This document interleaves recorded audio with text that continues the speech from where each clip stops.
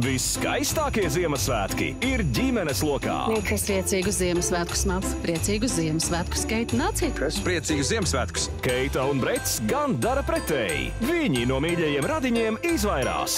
Žēl, ka nevarēsim būt kopā ar tevi un pārējo ģimeni. Taču, kā zināms, Ziemassvētki ir brīnumu laiks, un visi plāni apgriežas kājām gaisā. Vienā dienā jāapciemo visas četras ģimenes, tu saproti? Es to ļoti labi saprotu. Reisa Viterspūna un Vins Vons komēdijā Četri Ziemassvētki. Visur labāk nekā mājās. Pirmdien pusdesmitos 360 TV.